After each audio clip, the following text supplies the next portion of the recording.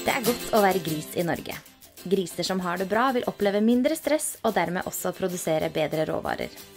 Årsakene til at norske griser har det bra, er bl.a. bøndenes store omsorg for dyra sine, kombinert med ekspertkunnskap om dyrehold.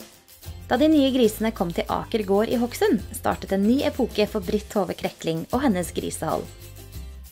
Eh, vi starta med gris her i fjor i oktober. Kom, eh, kom de første purkene inn til gården.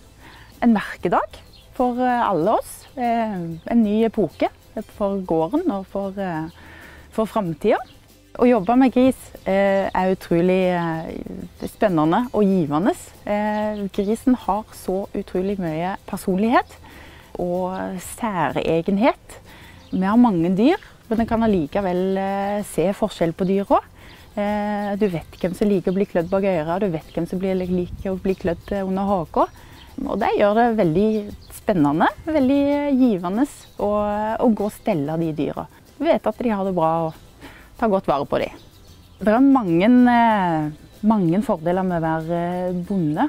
Å drive med dyr er én ting. Å få lov å, å, følge opp de dyra, se de vokse, se at de har det bra, en, ja, det gir deg veldig mye.